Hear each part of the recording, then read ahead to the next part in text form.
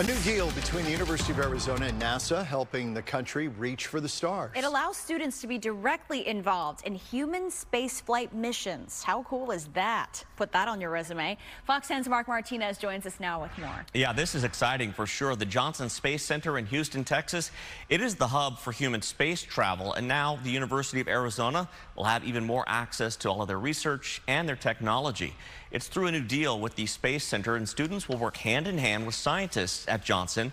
They'll be sharing their ideas and their research and also helping support people in space. They're going to be working at a unique lab at the university's new applied research building.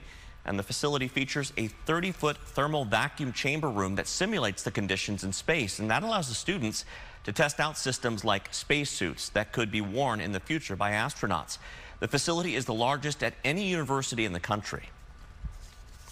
Human spaceflight is a huge priority for the U.S. government right now, and it's uh, in its resurgence. Um, we, we contributed to the planning for the Apollo missions and things like that back in the 60s. Now it's our chance to give back once again. But more importantly, it will inform their uh, life choices, whether it's to be an astronaut, whether it's to become a bench scientist, whether it's to become a leader of some other form.